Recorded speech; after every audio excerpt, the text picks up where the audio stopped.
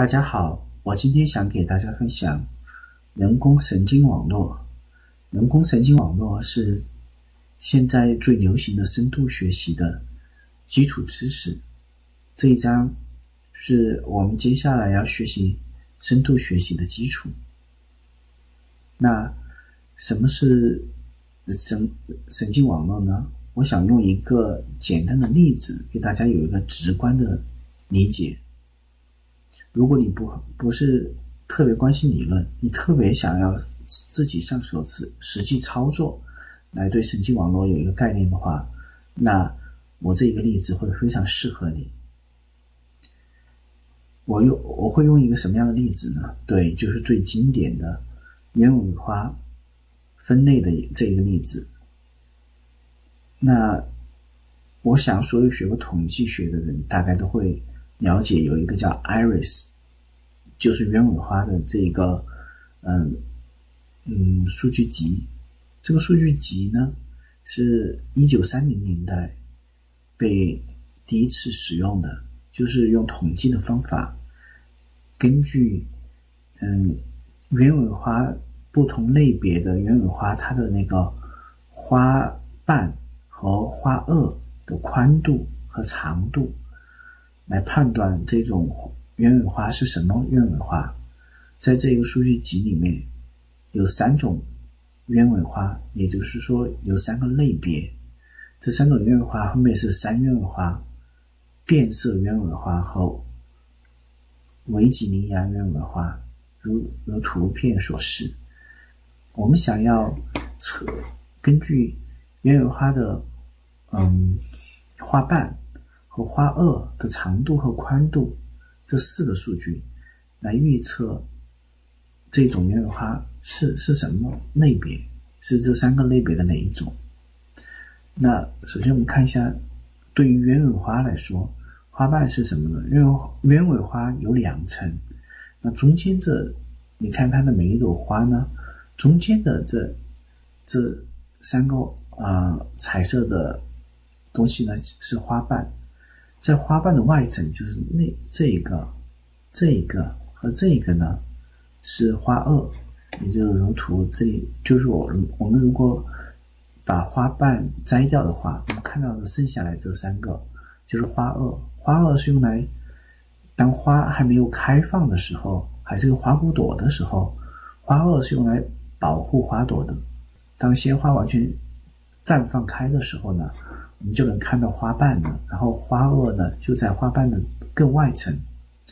那我们想要知道的就是根据花瓣的长度和宽度，还有花萼的长度和宽度，来判断说这种鸢尾花是属于这三种之之中的哪一种。我们来先用一个实际的例子来显示。首先，我们看一下这个数据集。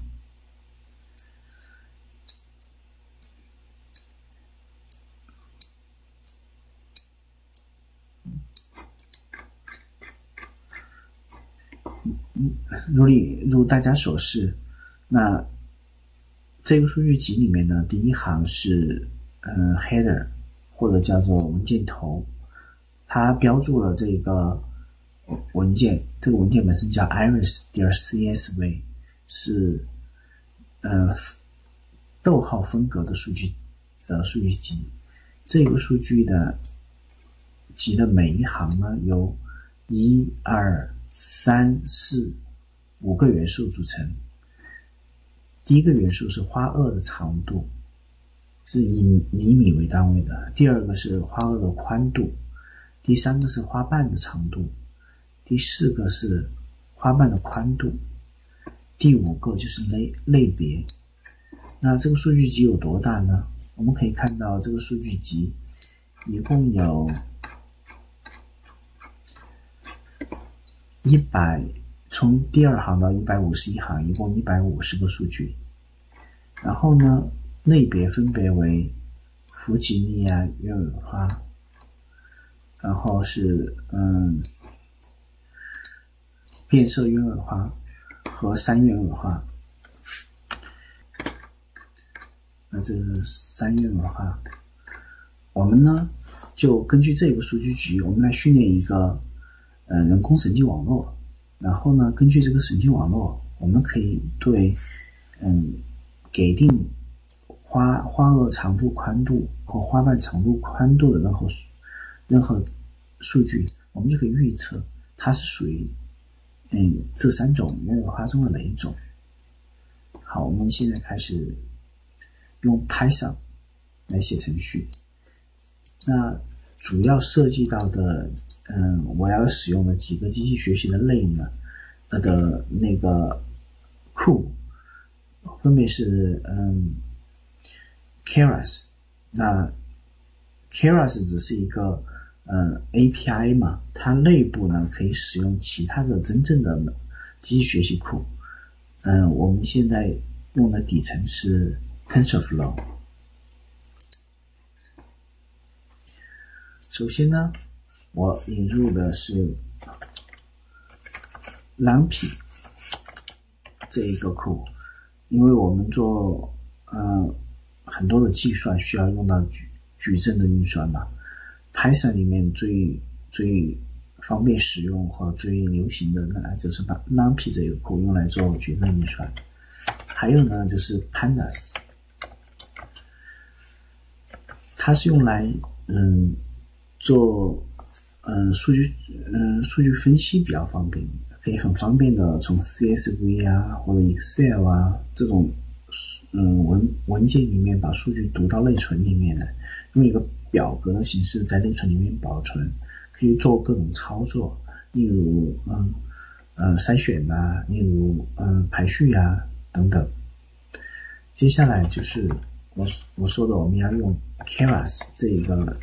嗯，深度学习的嗯库，它本身呢只是提供了一个嗯 API 的包裹层，它内部呢其实要使用真正的其他的库，比如说像嗯 TensorFlow。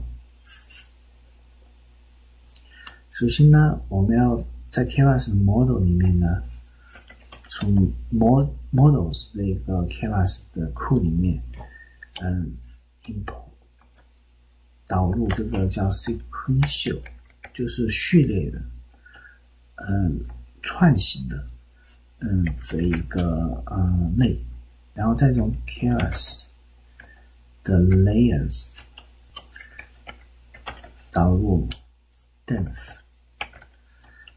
我我这里用的神经网络呢是最基础的神经网络，它的层叫 dense，就是。每一层的每一个节点，或者叫隐含层的每一个节点，都跟前面一层和后面一层的所有的节点都有都有一个连接，所以说它是很密度很高的，连接度很高的，所以叫 dense layer。再从 Keras 里面导入的库是一个 wrapper，就是一个嗯。用来跟 SciKit 比较好结合起来用的一个，嗯，一个包裹的 API 吧。从这里面 import 是 Keras Classifier，然后呢，再是 Keras 里面导入一个库叫在 Utilities Utils 导入一个叫 NumPy Utils。这个我待会儿给大家解释，嗯，是用来干嘛的？接下来还要从呃 sklearn，sklearn 在这里，我主要用它来做嗯做交叉验证，从这个 model selection 里面选择 cross，哇哦。！score 就是计算交叉验证的，嗯，那个准确度的得分的。还从 sklearn 里面呢，也是 model selection 里面，model selection 有很多种方法嘛。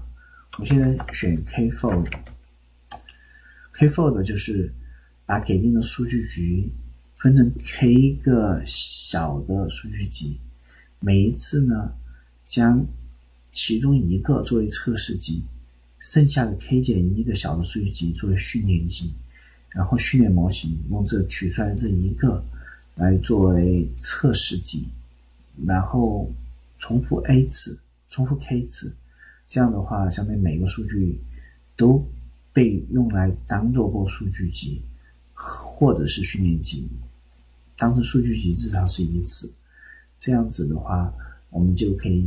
知道某种算法它的那个大概的性能是什么样子的，还从 sklearn 里面导入一些预处理的呃功能，比如说我这里要用的是 label encoder，它就是说，你看我们的那个 iris 这个原文化数据集里面。是人工神经网络呢，它要求所有的数据输入呢都是，嗯，都数值。但是你看这个花的类别呢，是用字符串来表达的。我们要想一个办法，把一个字符串转换成一个数数值或者叫数字吧，这个肯定转换成整数。那 label encoder 就是可以用来做这件事情的。然后我们还要用到了 Coursera 的。Models 里面的 import model from JSON，这个呢就是说，我们训练好一个模型，一个神经呃人工神经网络的模型是需要很多时间的。我们把它训练好了呢，我们要把这个模型最好存起来，以后下次再用的时候呢，我们就不需要再次训练了，因为训练是一个很耗时的过程。也很耗费计算资源。我们把训练好的模型存起来，然后呢，要用的时候再把它，我们把它存成文件啊。然后用的时候，我们把它从文件读到内存里面来，然后就可以直接做预测了。那这个这个 Keras 的 model，你导入这个 model file JSON 就是做这件事情的。